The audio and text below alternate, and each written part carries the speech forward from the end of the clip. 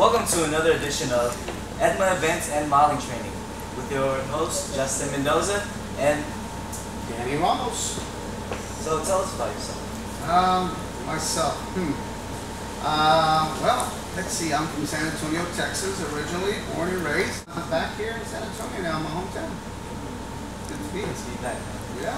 So, what do you miss about San Antonio? I miss the, the friendliness. Of, uh, everyone's really cool and very nice here. In LA, it's just a melting pot out there. It's really fun out there, but it's uh, a lot of different. It's a diversity melting pot. So uh, Everyone's in competition. that's right. That's right. So, any future events? I'm working on an upcoming film that I'm going to be directing called Margarita Man, and uh, that's going to be shooting in the next couple of months or so.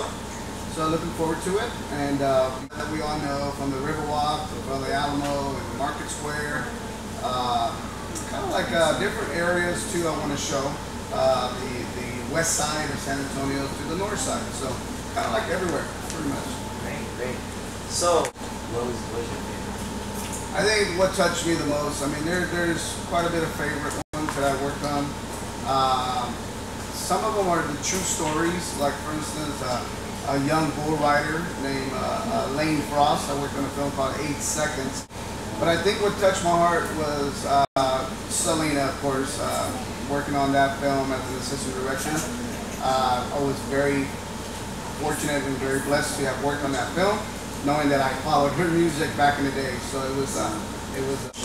Outbursts during that film? Yeah, the emotional outburst, believe it or not, was that her mom and dad uh, and her sister uh, and her husband, or a widow husband named Chris uh, Pettis, um, Abraham Quintanilla. So, so it's very emotional when you see their parents kind of weeping on the side and, and, and, and with some tears, and uh, you're trying to be professional and trying to comfort them too as well. So you're making a Hollywood movie, but at the same time, it's a true story.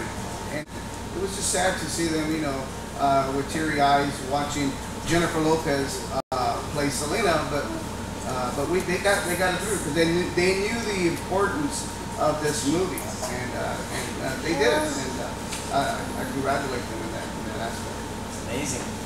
So Well, that is all. that's it. Thank you. Nice to meet you. Congratulations.